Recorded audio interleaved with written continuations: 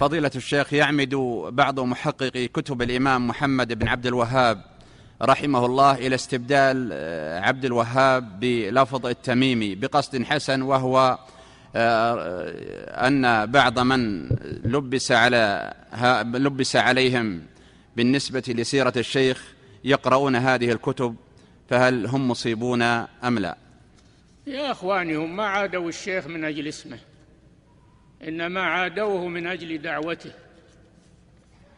فلو غيرت اسمه كله واسم أبيه وجده ما رايحون يقبلون دعوته ما هو الكلام على الاسم الكلام على الدعوة ما يريدونها. ما يريدون دعوة التوحيد. فنحن لا نرضيهم بتغيير الاسم ولا ينفع هذا شيء. ثم إنه لا يجوز تغيير الأسماء. لا يجوز تغيير الأسماء بعد موت أصحابها. وتجعل المؤلفات باسم غير صاحبها. هذا لا يجوز. نعم.